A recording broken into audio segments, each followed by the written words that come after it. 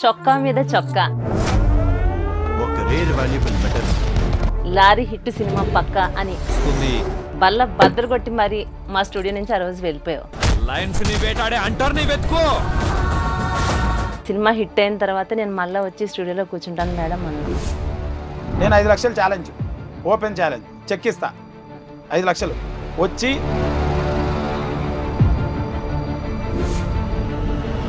అరే శ్రీకాంత్ ఒరే శ్రీకాంత్ అన్నాను కదా. అమ్మాయిల కోసం సినిమా తీశాను. మరి ట్రైలర్ అలా చూపిస్తే ట్రైలర్ అలా చూపిస్తే అలానే అడుగు.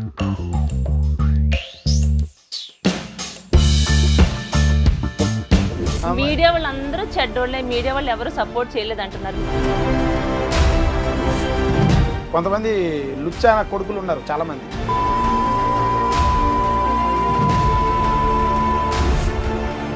మీరు అనుకున్నటువంటి అన్ని థియేటర్స్లో రిలీజ్ చేయలేకపోయారా? చేయలేకపోయా. కానీ ఆ పెద్దవాళ్ళకి కూడా పోటీ పడి నేను. ఇంకా ప్రతిదానికి మీడియా వాళ్ళు మీడియా జ్వరం వచ్చిందని కూడా మీడియానే మీడియానే మేడం వాళ్ళు నన్ను ప్రెజర్ పెట్టారు. మూవీలో అంటే పర్టికులర్గా ఏది నీకు ఇష్టమైనటువంటి ఫేవరెట్ సీన్ ఈ సీన్ పోతే ముందు సీన్ మర్చిపోతున్నాడు అతను. ప్రతి సీన్ హైలైట్ ఉంది పోతుంది బొమ్మ పరిగెడుతుంది రైలు రూపంలో స్పీడ్గా పరిగెడుతుంది. చేయాలంటే అయి ఉండాలి. చొక్కా మీద చొక్కా లారీ హిట్ సినిమా పక్క అని బల్ల బద్దలు కొట్టి మరి మా స్టూడియో నుంచి ఆ రోజు వెళ్ళిపోయావు. సినిమా హిట్ అయిన తర్వాత నేను మళ్ళీ వచ్చి స్టూడియోలో కూర్చుంటాను మేడం అన్నా. హిట్ అయింది కాబట్టి? వచ్చాను. లాస్ట్లో తిట్టారు వెళ్ళిపోయాను? అందుకే అందుకే అప్పుడు అరే శ్రీకాంత్ ఒరే శ్రీకాంత్ అన్నాను కదా. ఇప్పుడు అంటున్నాను. Srikanth garu congratulation thank you madam thank you అయితే అదేంటి బ్యాంక్ అమ్మాయిల కోసం సినిమా తీశాను నేను? అమ్మాయిల కోసం సినిమా తీశాను మరి ట్రైలర్ అలా చూపిస్తే ట్రైలర్ అలా చూపిస్తే అలానే అడుగుతారు అది. Marketing strategy madam marketing cut అలా కట్ చేసాము దాంట్లో. ఉన్న బెస్ట్ అన్ని యూత్కు సంబంధించి యూత్ ఫ్యామిలీ సంబంధించి ఫ్యామిలీ సెంటిమెంట్ పిల్లలకు శ్రీకాంత్ గారు గతంలో మీరు చేసినటువంటి యూట్యూబ్లో ఉన్నటువంటి అవన్నీ- చూసనే కాదు. ట్రైలర్ కూడా అదే విధంగా మీరు చేశారా లేదా చెప్పండి. చేసాము అయితే చేశారు కాబట్టి అలా అనుకుంటాం. ఎందుకంటే మూవీ చూడలేదు కాబట్టి సినిమా? చూడలేదు. కానీ టాక్ అయితే మాత్రం చాలా బాగుంది. సినిమా హండ్రెడ్ పర్సెంట్ సక్సెస్ అయిందన్న విషయం మాకు క్లారిటీ వచ్చేసింది. అందుకోసమే మిమ్మల్ని మళ్ళీ మేము ఇన్వైట్ చేయడం జరిగింది. వన్స్ అగైన్ మళ్ళీ మళ్ళీ మీకు కంగ్రాచులేషన్స్ వి ఫైవ్ న్యూస్ యాజమాన్యానికి ధన్యవాదాలు. ఎందుకంటే కొంచెం నన్ను ప్రమోట్ చేశారు. తిట్టినారు అయితే ఫస్ట్ నో ప్రాబ్లం అయితే మళ్ళీ. ఆ, వాళ్ళు చెడ్డోళ్ళే. కానీ ధన్యవాదాలు. మీడియా వాళ్ళందరూ చెడ్డోళ్ళే. మీడియా వాళ్ళు ఎవరు సపోర్ట్ చేయలేదు అంటున్నారు మీడియా వాళ్ళు ఎవరు సపోర్ట్ చేయకోకుండానే ఈ సక్సెస్ని సాధించారా? తిట్టారు కదా నన్ను. దానికి ఏమంటారు తిట్టారంటే. ట్రైలర్ చూసిన తర్వాత కూడా గతంలో ఏమైతే పనులు చేస్తున్నావో అదే విధంగా ఈ సినిమా తీసేవేమో అని మేము అనుకున్నాం సరే. మేడం మీకు ధన్యవాదాలు మేడం నేను అమ్మాయిల కోసం వీడియోలు తీలే సినిమా చేయలే మేడం అర్థమైందా? తెలిసింది అది మాకు కూడా అర్థమైంది మంచి. చాలా పెద్ద కథ ప్రజలందరూ చాలా బాగా సపోర్ట్ చేస్తున్నారు విజిల్స్ విజిల్స్ చేస్తున్నారు మేడం సినిమా. హాల్స్లో సినిమా హాల్స్లో మీకు వీడియో చూపిస్తా ఎట్లా. విజిల్ చేస్తున్నారో చూడండి అది అది ఇంకా అది సినిమా. శ్రీకాంత్ మూవీలో కూడా అబ్బాయిలు విజిల్ చేస్తున్నారంటే ఓకే అది. మనం అందరం వింటూనే ఉంటాం. మీ మూవీలో ఆ రోజు రిలీజ్ రోజు మంది. నలభై మంది అమ్మాయిలు విజిల్స్ మీద విజిల్స్ నిజమేనా? సాంగ్ డాన్స్లు వేస్తున్నారు. అమ్మాయిల. గురించి డైలాగ్లు వస్తే దానికి ఎంజాయ్ చేస్తున్నారు. ఆ రొమాంటిక్ సీన్స్కి వేస్తున్నారు. మాస్ డైలాగ్స్కి వేస్తున్నారు. ఏంది? ఎట్లా చెప్పాలి మీకు ఇంకా? చూడండి. కాగితాలు వేస్తున్నారు. ఒక పెద్ద హీరోకి. వేసినట్టు. అయిపోయావులే పెద్ద హీరో. కాగితాలు వేస్తున్నారు పైకి. ఫ్లవర్స్. అవునవును. మరి ఇది చాలదా? నేను వాళ్ళంతా మా వాళ్ళు కాదు మేడం. ఇది ఎక్కడో గుడివాడలో థియేటర్. గుడివాడ గూడూరు. వేరే. అతను పంపించాడు. కట్ చేస్తే పెట్టిన మూడు రోజులకే నా బడ్జెట్ నాకైతే వచ్చింది. తర్వాత ఇంకోటి ఏంటంటే మీకు ఇంకొకటి చూపిస్తా. నేను ప్రభాస్ అన్న ఫ్యాను. ఉదాహరణ. అయితే బుక్ మై షోలో ఆయన సినిమా పక్కన నా సినిమా లిస్టింగ్ అయింది. ఆయన సినిమా పక్కన. కల్కి. కల్కి నా cinema lorry chapter one. Deadpool Hollywood movie. Raayan. అంటే ఇది ఏంటంటే లిస్టింగ్ ఈ వారము జన ప్రే- ప్రేక్షకులు దేనిపైన ఎక్కువ ఇంట్రెస్ట్ ఉన్నారు అని అర్థం. ఈ లిస్టింగ్ అర్థం. సో పీపుల్ ప్రభాస్ అన్న కల్కి సినిమా పక్కన ఉంది పీపుల్ దట్ మచ్ లైకింగ్. నాకు? ఎవరు సర్టిఫికేషన్ అవసరం లే. అయిపోయావంటే. Pan India హీరో అయిపోయావు మరి ఇంకేంటి? పాన్ ఇండియా హీరో అయితే కష్టపడతాం. ఎవరి సర్టిఫికేషన్ నాకు అవసరం లే. ఎస్పెషల్లీ మీడియా వాళ్ళు. చాలా మంది పాజిటివ్ రాశారు. సినిమా చూసి ఇన్ని ఏం దొరుకుతుందా తొక్కుదాం ఇన్ని అని వచ్చారు అందరూ. వంద ఛానల్స్ వచ్చాయి ఐమాక్స్కి. అందరు చూశారు. ఎంత మంది వస్తే ఎన్ని ఛానల్స్ వాళ్ళు వస్తే అంత ప్రమోషనే కదా నీకు. అయినా సరే ఇంకా ప్రమోషనే నెగిటివ్ చేద్దాం ఏదో అని. కానీ దొరకలేదు కదా నేను అందుకే అలా ఎందుకు మొదటి నుంచి- అలా ఎందుకు అనుకోవాలి? మొదటి నుంచి ఇదే నా? Success madam. ఇంతకన్నా ఏం లేదు ఇంకా. బుక్ మై షోలో ఆయన పక్కన నా సినిమా కూడా వచ్చింది. లిస్టింగ్. ఆ రోజు రిలీజ్ రోజునే అంత మంది జనం వచ్చారు కదా. అంత జనం అంతా అంటే మీ యూట్యూబర్ వల్ల లేకుంటే నీ ఫ్యాన్స్?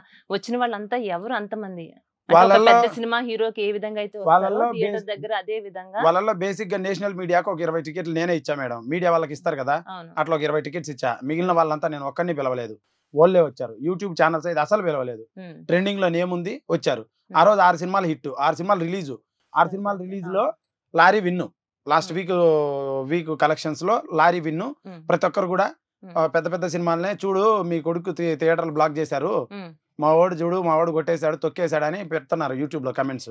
అండ్ ప్రతి ఒక్క three above three three point two five three point seven five three point four వరకు వెళ్ళింది రివ్యూస్ మూవీ నచ్చకపోతే నేను ఆగిన మాటలకి నా మా నా డబ్బా మాటలకి ఉదాహరణ నేను గట్టి గట్టిగా మాట్లాడాను. ఎలా ఎలా అనేవాళ్ళు నన్ను? కానీ ఒక్కరు నోరెత్తట్లా. ప్రతి ఒక్కరు పెట్టుకుంటాను పాజిటివ్ గానే పెడుతున్నారు. అంటే ఉంది కాబట్టి. పల్లెటూర్లలో బాగా వెళ్తుంది మేడం. కానీ నా కాడ ఉన్న డబ్బు స్తోమత లేక నాకు సిటీలో థియేటర్లు దొరకల. సిటీలో కేవలం మల్టీప్లెక్స్లు వచ్చాయి. ఎందుకంటే వాటిల్లో రాజకీయం తక్కువ ఉంటుంది. అండ్ మిగతా వాటిల్లో డబ్బు కట్టాలి. సో ఆ రోజు సడన్గా ఒక పెద్ద వాళ్ళ రెండు మూడు సినిమాలు రావడం వల్ల వాళ్ళు డేట్ సడన్గా అనౌన్స్ చేశారు. నేనేమో ఆగస్ట్ సెకండ్ అని అనౌన్స్ చేసి కొట్టుకుంటూ వస్తున్నా ప్రమోషన్. వాళ్ళు సడన్గా మూడు రోజుల ముందు అనౌన్స్ చేసి రిలీజ్ పెట్టారు. అన్ని థియేటర్లు డబ్బులు కట్టి బ్లాక్ చేశారు. Single screens. అంటే మీరు అనుకున్నటువంటి అన్ని థియేటర్స్లో రిలీజ్ చేయలేకపోయారా? చేయలేకపోయా. చేయలేకపోయా. కానీ ఆ. పెద్దవాళ్ళకి కూడా పోటీ పడి నేను తొంభై థియేటర్లు వదిలాను. మళ్ళా శనివారం పది పెరిగాయి. ఆదివారం పదహైదు పెరిగాయి. సోమవారం పన్నెండు పెరిగాయి ఈ రోజు ఒక ఆరు పెరిగాయి మొత్తం. ఇప్పుడు నూట ఇరవై ఎనిమిది థియేటర్లు ఇప్పుడు మొత్తంగా నూట ఎనిమిది థియేటర్ నూట ఇరవై థియేటర్లో బొమ్మ సక్సెస్ఫుల్ రన్ అవుతుంది ఆ రోజు రిలీజ్ అయిన ఆరు సినిమాలు బాగా ఆడాలని నేను కోరుకుంటున్నాను. కానీ వాటికి షో వల్ల. షోలు అంటే నాలుగు టికెట్లన్నా రావాలి. నా సినిమా ప్రతి షోకి నలభై టికెట్స్ వస్తున్నాయి. ప్రతి షోకి ఎక్కడేసినా. నలభై అబ్బో వస్తున్నాయి నాలుగు వందల ఐదు వందల సీటింగ్ కెపాసిటీ ఉంటుంది కదా. అటువంటి చోట కూడా నలభై యాభై అరవై డెబ్బై వంద నూట యాభై రెండు వందల వరకు టికెట్స్ తెగుతూనే ఉన్నాయి ప్రతి షోకి. వాళ్ళకి ఎనిమిది టికెట్స్ వస్తే షో వేస్తారు. అంటే కరెంట్ బిల్లులు అవి మ్యాచ్ అవ్వాలి వాళ్ళ ఖర్చులకి. సో అట్లా అనమాట అది నా సక్సెస్ మేడం మొదటి సినిమా. చెప్పి మరీ కొట్టాను.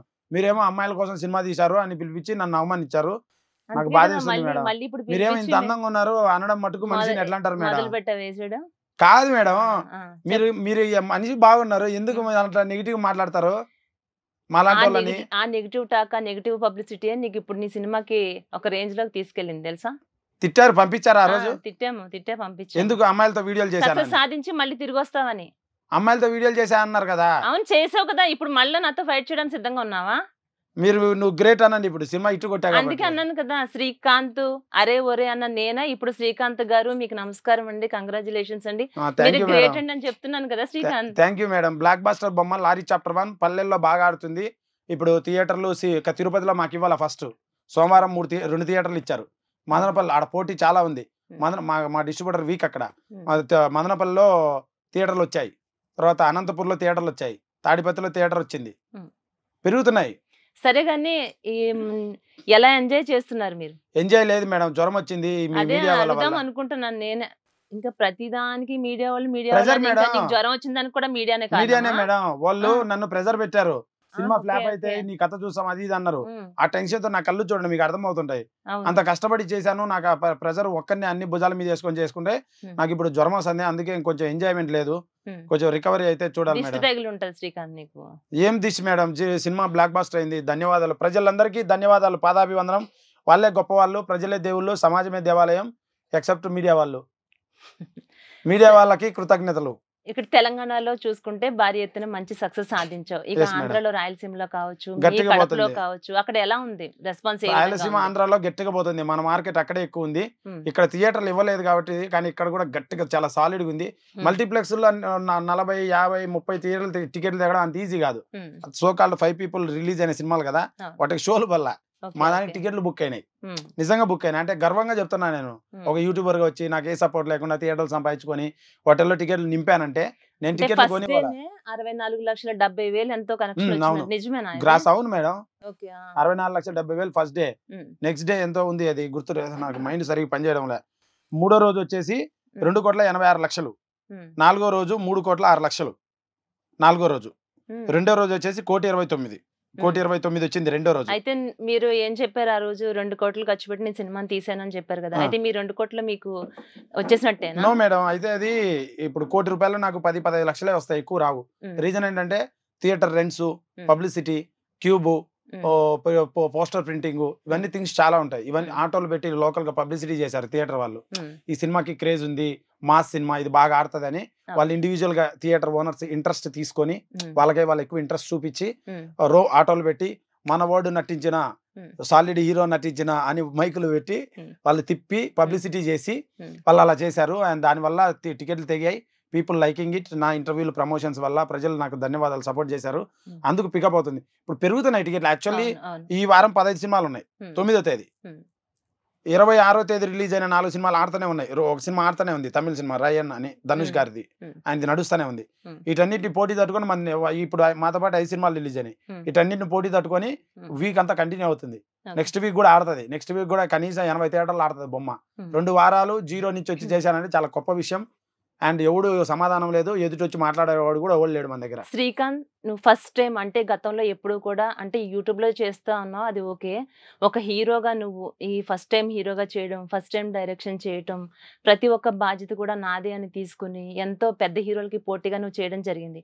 అలాగే థియేటర్లో అంటే చిరుత మూవీ వచ్చినప్పుడు రామ్ చరణ్ని ఏ విధంగా అయితే ఎంట్రీ వచ్చినప్పుడు చూసారో అంటే చాలా మంది అంటే వింటుంటే కూడా అలాంటి ఫీలింగ్ కలిగింది. ఒక రామ్ చరణ్ని మరొక రామ్ చరణ్ చూసిన ఫీలింగ్ కలిగింది. మరొక ప్రభాస్ని చూసిన ఫీలింగ్ కలిగింది. ఇలా ఎలా సాధ్యమైంది నీకు ఫస్ట్ సినిమాతోనే?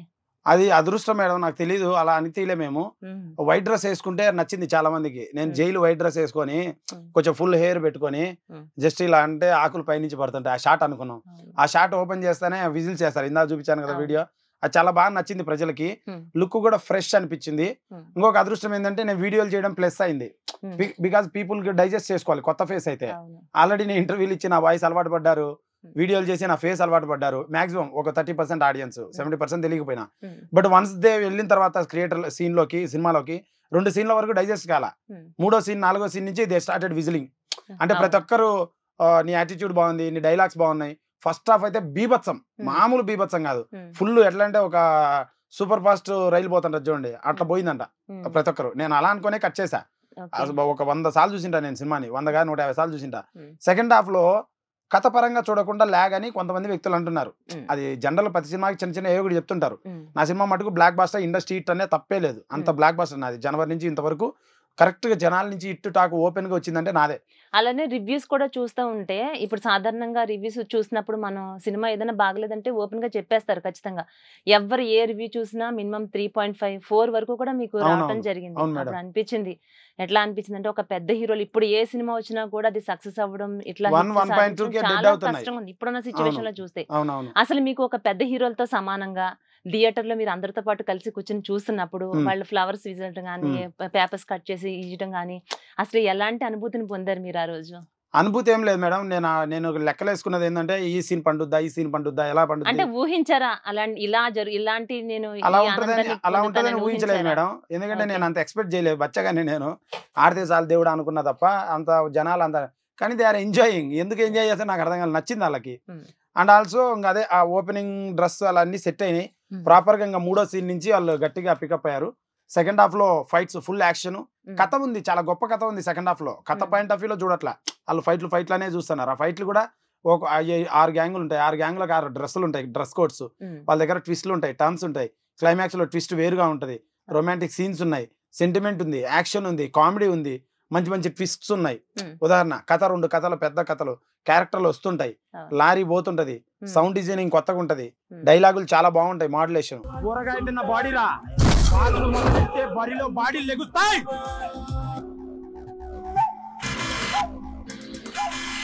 ఇవన్నీ గమనించట్లా. కొంతమంది నెగిటివ్ ఉంటారు కదా మేడం ఈ డేంద్రా అనే అటువంటి వాళ్ళు మాట్లాడుతున్నారు. బట్ ఓవరాల్గా ninety eight point five percent పీపుల్కి నచ్చింది. తొమ్మిది పాయింట్ ఐదు పర్సెంట్ పీపుల్కి నచ్చింది. అంటే పాయింట్ ఫైవ్ మందికే నచ్చల. అంటే మిమ్మల్ని ఇష్టపడేవారు మీ ఫ్యాన్స్ ఉన్నారు. ఓకే. అలాగే ట్రోలర్స్ కూడా ఉన్నారు. వాళ్ళకి మీరు ఏం చెప్పదలుచుకున్నారు? వాళ్ళు ఏం లేదు మేడం. ఇప్పుడు ఏం లేదు. అందరూ ట్రోలర్స్ కూడా పాజిటివ్ రాస్తున్నారు. కారణం వాళ్ళకి నచ్చింది బొమ్మ. దొరికితే చేద్దామని ఉన్నారు. మాక్సిమం నచ్చింది. ఈ రివ్యూ చేసే వాళ్ళు ఒక ఐదారు మంది ఉన్నారు. వాళ్ళల్లో ఈ ముగ్గురు నలుగురు రివ్యూలు ఇవ్వలేదు. వాళ్ళకి యాక్సెస్లో థియేటర్ పర్లేదు ఉమ్, కారణం నా మొత్తం ఆంధ్రప్రదేశ్ ఆంధ్ర తెలంగాణ పదిహేను వందల థియేటర్లు.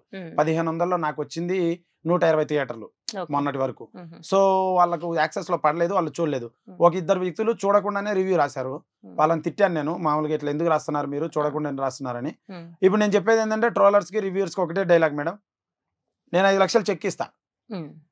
అంటే మీరు రివ్యూ చెప్పొద్దు అన్నట్లే డైరెక్ట్ ఫస్ట్ ఆఫ్ ఆల్ నేను చెప్పొద్దే అంట. రివ్యూ అసలు చెప్పకూడదు. First of all review cinema చెప్పకూడదు. నా ప్రకారం. సరే భావ ప్రకటన స్పేచ్ ఉంది. చెప్తామనండి. సరే చెప్పండి. చెప్తే మీరు రివ్యూ చెప్పేటప్పుడు ఒకడికే చెప్పాలి. లేదా ఒక ఐదు ఆరు మంది చెప్పాలి ఒక పది వరకు చెప్పుకోవచ్చు మీ ఫ్రెండ్ సర్కిల్లో. ఎందుకు ఒక వ్యక్తిగా. మీరు సినిమా చూసారు డబ్బులు పెట్టారు కాబట్టి. అది ఎలిజిబుల్. మీరు ఒక లక్ష మంది సబ్స్క్రైబర్స్ని పెట్టుకొని వాళ్ళందరి మీద మీరు రుద్దుతున్నారు.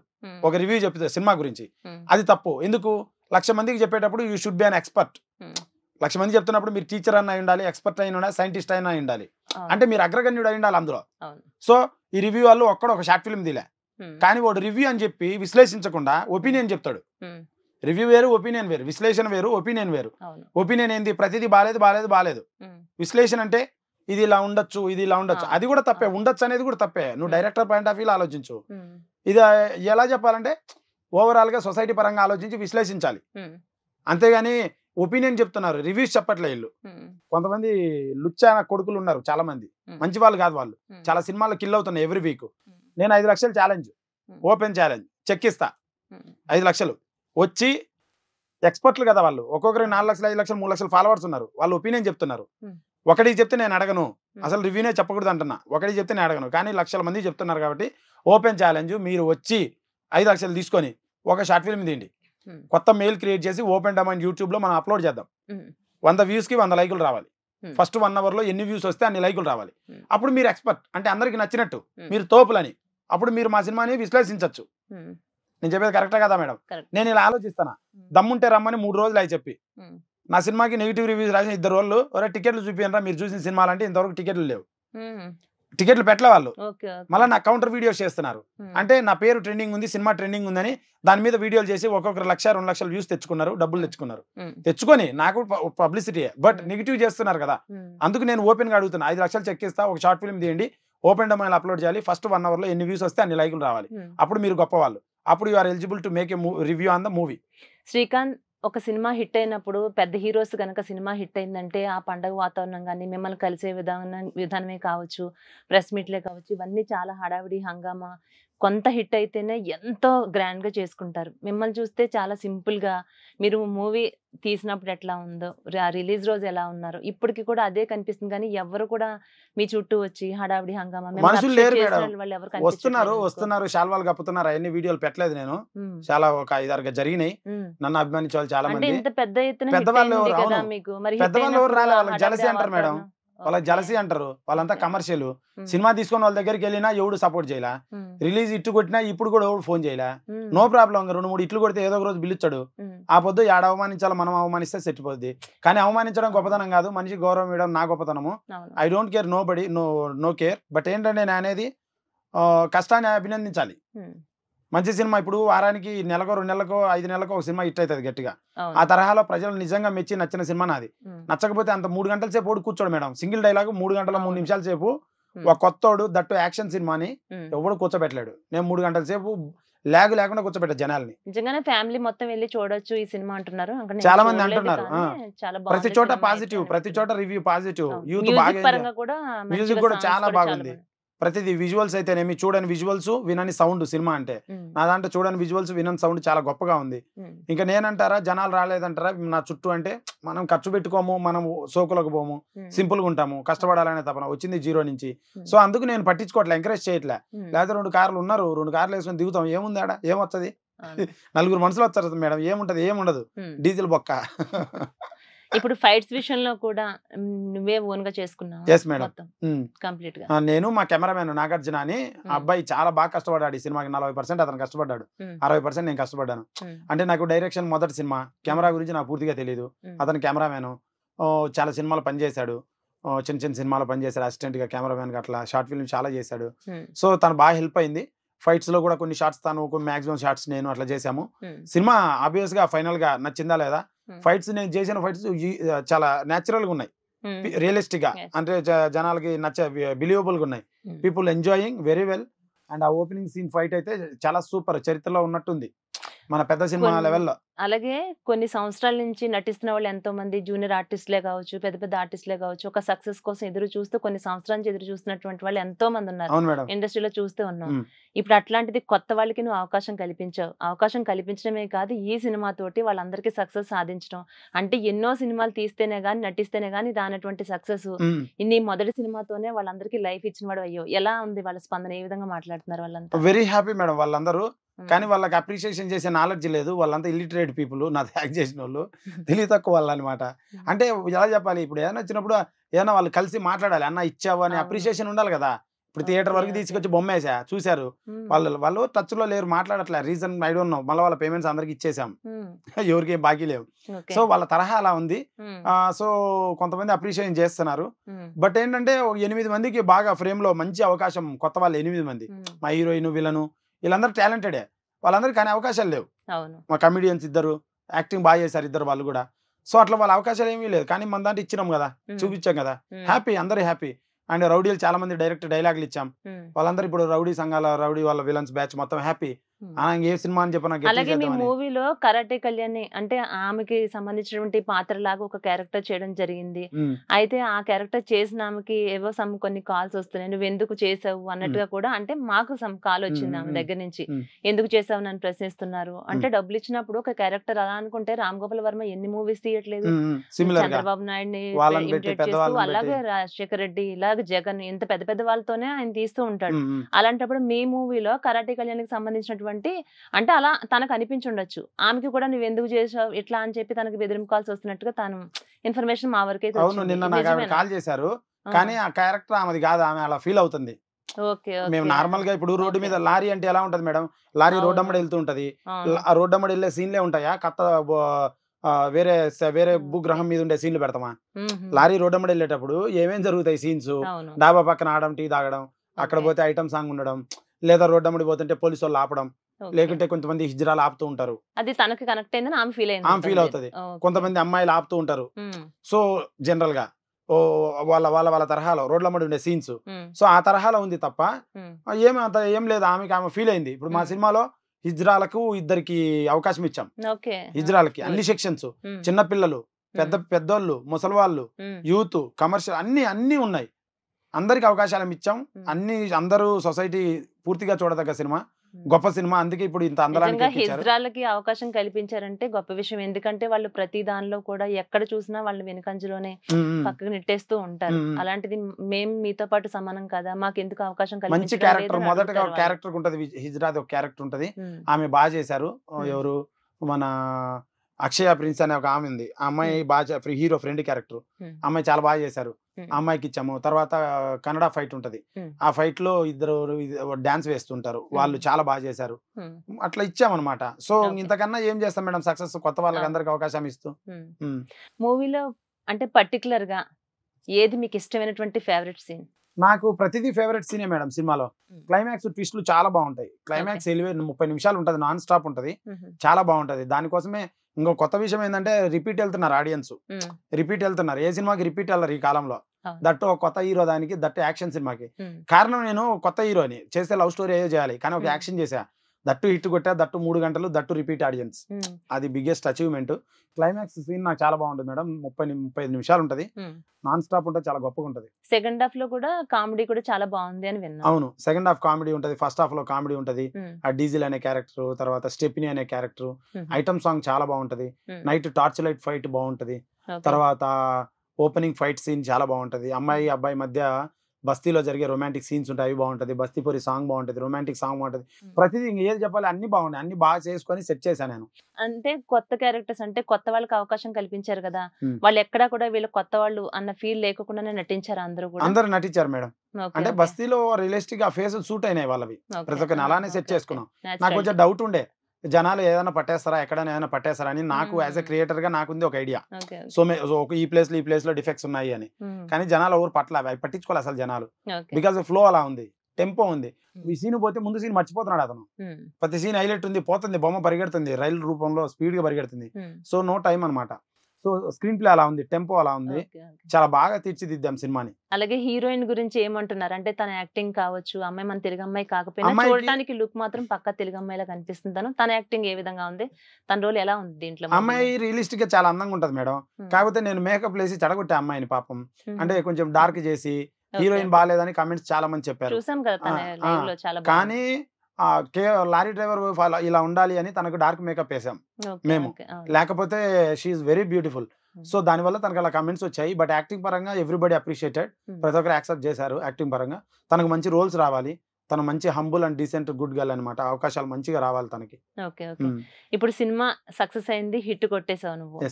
అంటే సాధారణంగా ఏదైనా ఒక సినిమా హిట్ అయింది అన్నప్పుడే ఒక చిన్న ప్రొడ్యూసర్లు కానీ పెద్ద ప్రొడ్యూసర్లు కానీ వాళ్ళంతా హిట్ ఎవరైతే కొట్టారో వాళ్ళ చుట్టూ తిరుగుతూ ఉంటారో ఆటోమేటిక్ అవకాశాలు వచ్చేస్తూ ఉంటాయి. మరి ఇంత పెద్ద హిట్ కొట్టావు కదా నీ చుట్టూ ప్రొడ్యూసర్లు తిరుగుతున్నారా? వస్తున్నారు మేడం కాల్స్ వస్తున్నాయి. కన్ఫర్మేషన్స్ లేవు కాల్స్ వస్తున్నాయి. మూడు రోజులే కదా అయింది. వస్తున్నాయి వన్ బై వన్ లాక్ అవుతాయి. అండ్. ఇంకా మంచి సినిమాలు ఉన్నాయి గొప్ప సినిమాలు ఉన్నాయి. ప్రొడ్యూసర్లందరికీ దయ ఉంచి నేను అడిగేది ఒకటే మీరు నిజంగా సినిమా వ్యాపారం చేయాలంటే సినిమా అనేది వ్యాపారం. సినిమా బిజినెస్ చేయాలంటే సినిమా వ్యాపారం చేయాలంటే కష్టపడేవాడిని చూడండి. మాకు ఏ లగ్జరీ లేవు. ఈ సినిమాకి నేను ఒక క్యారవాన్ కూడా వాళ్ళ. ఈ సినిమాని ఏడు నుంచి పద్నాలుగు కోట్లు పెట్టి తీయాలి. అటాడిది రెండు కోట్లలో కంప్లీట్ చేసా అన్ని భుజాల మీద వేసుకొని చేశా నేను ఏ పబ్లిసిటీకి డబ్బులు ఖర్చు పెట్టలే. కారణం నా కాడ ఉన్న స్తోమతలో నేను చేశాను. సో నేను ఇలా కష్టపడే వ్యక్తిని నేను కష్టపడేవాడిని దయ ఉంచి మాలాంటి వాళ్ళకి అవకాశం ఇవ్వండి. పిచ్చి పిచ్చి వాళ్ళకి ఇచ్చి సినిమాలు ఆగి చేసుకొని ఆగి ఆగిపోయి దాని పేరు కూడా తెలియకుండా ఎందుకు సినిమాను హార్డ్ డిస్క్లో పెట్టుకుంటారు? కష్టపడే వాడికి అవకాశం ఇస్తే మంచి సినిమాలు చేస్తాం. నాకైతే నాకైతే కొంచెం ఎవరినో ప్రొడ్యూసర్లు వచ్చి అవకాశాలు ఇస్తారని నేను గొప్పగా ప్రార్థిస్తున్నా మేడం. ఇప్పుడు ప్రొడ్యూసర్లు ఎవరైనా వస్తే చేయాలని మీరు అనుకుంటున్నారు కదా. ఇప్పుడు లారీ చాప్టర్ వన్ కాకుండా lorry chapter two and three కూడా ఉంది కదా. ఇప్పుడు మీరు అనుకున్నటువంటి స్టోరీ రెడీగానే ఉంది కాబట్టి ఎవరైనా ఒక మంచి ప్రొడ్యూసర్ వస్తే లారీ చాప్టర్ టూ మీరు ప్రొడ్యూస్ చేయకుండా వాళ్ళతో చేయిస్తారా? చేపిస్తాం మేడం. ఇమీడియట్గా మొదలు పెడతా. కథ కూడా రెడీ ఉంది. వన్ మంత్ గ్యాప్లోనే మొదలు పెడతాం. అండ్ వేరే కథలు కూడా చాలా మంచి కథలు ఉన్నాయి. గొప్ప కథలు. యాక్షన్ సినిమాలు అవి కూడా. ప్రజలకు గొప్పగా నచ్చుతాయి తప్పకుండా. సో ఖచ్చితంగా చేస్తాం మేడం. చేయడానికి ఇతర. భాషల్లో కూడా రిలీజ్ చేయడానికి రెడీగా ఉన్నారు. ఆల్రెడీ తెలుగులో అయితే రిలీజ్ అవును, అయిపోయింది. ఇతర next- భాషల్లో ఎప్పుడు next- రిలీజ్ చేస్తున్నారు? ఇప్పుడు ఇది రిజల్ట్ బట్టి వాళ్ళకి అమ్మేశాము. వాళ్ళు కొనేశారు అనమాట సినిమాని సో వాళ్ళు కొన్న తర్వాత డెసిషన్ వాళ్ళదే. ఇఫ్ దే వాళ్ళు ఇక్కడ రిజల్ట్ బట్టి. మళ్ళీ అక్కడ రిలీజ్ బట్టి అక్కడ పబ్లిసిటీ బట్టి థియేటర్స్ అక్కడ ఉన్న అవైలబిలిటీ బట్టి ఆ వీక్ సినిమా రిలీజ్ బట్టి వాళ్ళు అన్ని లెక్కలు వేసుకుంటున్నారు వైబిలిటీ ఎంత ఉంది కొత్తోడు కదా అని. అయితే సినిమా ఇట్టు టాక్ వచ్చింది ఇక్కడ. సో వాళ్ళు డైరెక్ట్ ఓటీటీకి వెళ్దామా అక్కడ? లేకపోతే రిలీజ్ చేద్దాం అనే తపనలో ఉన్నారు. ఓటీటీ రైట్స్ కొనడానికి వస్తున్నారా ఎవరైనా? ఇప్పుడు అప్లై చేయాలి. ఇప్పుడు ఏ ఓటీటీ ఎవరిని అప్రోచ్ అవ్వట్లేదు. పెద్ద పెద్ద సినిమాలకు కూడా అప్రోచ్ అవ్వట్లేదు. మనము థియేటర్ రిలీజ్ పబ్లిసిటీ అంతా ఈ హైప్ అంతా పట్టి ఒక పిచ్ డెక్ తయారు చేసి వాళ్ళకి అప్లై చేయాలి. అప్లై చేస్తే వాళ్ళ పాసిబిలిటీ బట్టి చూస్తున్నారు. కారణము ఓటీటీ ఎలా అంటే ఇప్పుడు సినిమాలు కొనట్లా. వాళ్ళకు ఒక గ్రాఫ్ ఉంటది లోపల. మాది ఏ సినిమాలు చూస్తున్నారు అని ఓటీటీకి ఆ గ్రాఫ్ బట్టి ఏ సినిమాలు ఎక్కువ చూస్తుంటే. అటువంటి సినిమాలు వాళ్ళే ఇన్ హౌస్ షూటింగ్ చేస్తున్నారు వాళ్ళే బడ్జెట్ పెట్టి. ఇప్పుడు హర్రర్ ఎక్కువ నడుస్తున్నాయి అనుకోండి. వాళ్ళే ఒక డైరెక్టర్ హైర్ చేసుకుని వాళ్ళే సినిమాలు తీసి వాళ్ళ ఓటీటీలో వాళ్ళే పెట్టుకుంటున్నారు. అమెజాన్ కాంచి నెట్ఫ్లిక్స్ కాంచి అంతా అదే జరుగుతుంది. బయట సినిమాలు కొనడానికి ఏంటంటే బయట సినిమాలు తక్కువలో తీసి బడ్జెట్లు ఎక్కువ చెప్తున్నారు. మోసపోతున్నామని కొనడం ఆపేశారు. ఇది మెయిన్ రీజన్ పబ్లిసిటీ సరి చేయట్లా.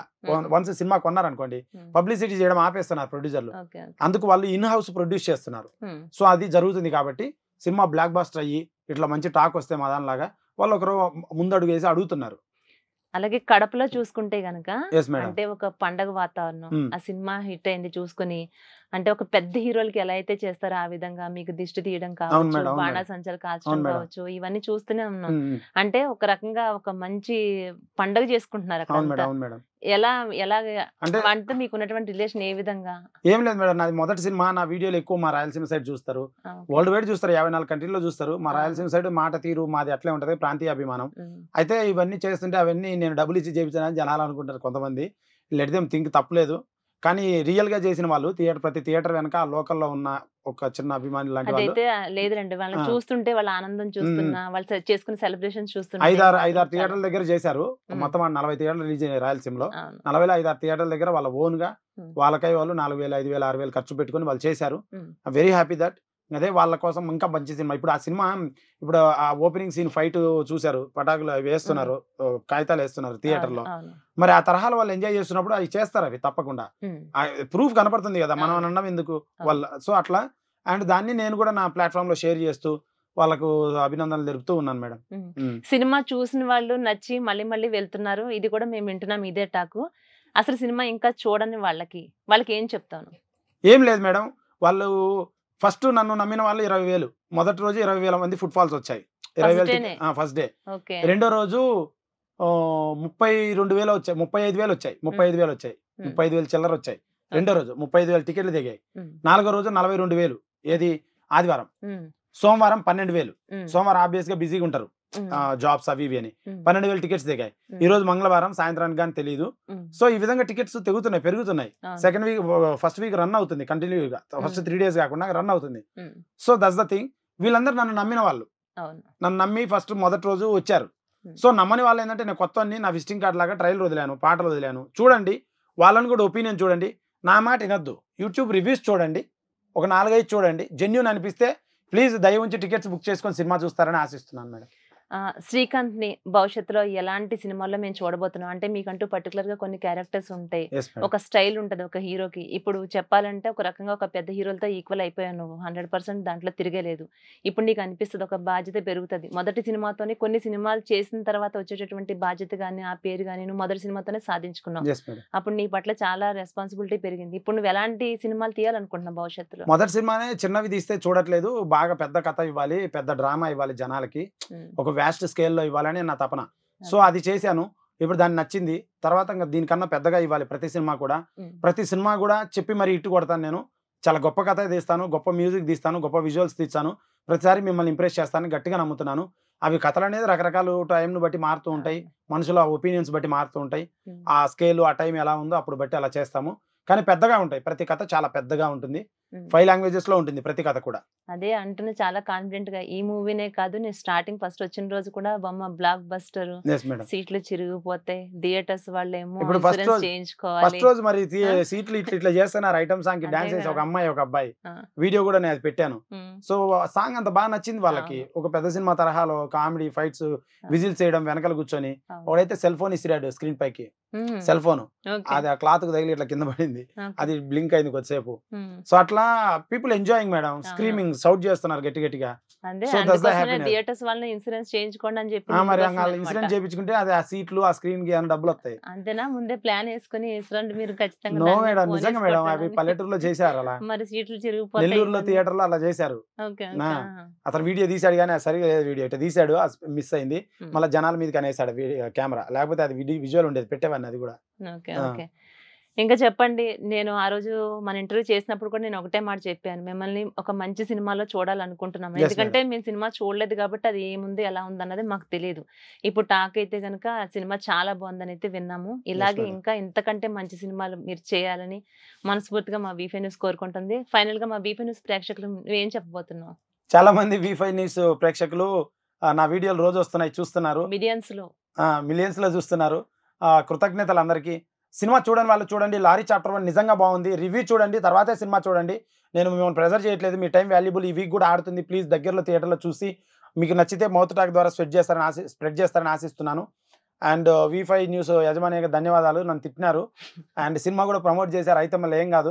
కొట్టకుండా పంపించాను సంతోషించు. ఎందుకు కొడతారు మేడం? నా పని నేను చేసుకున్నా madam. So please watch August second lorry chapter one release అయింది. ఈ వీక్ రిలీజ్ ఆడుతుంది please watch lorry chapter one in theatres. Srikanth lorry chapter two లో కూడా మళ్ళీ మనం కలుసుకుందాం ఖచ్చితంగా.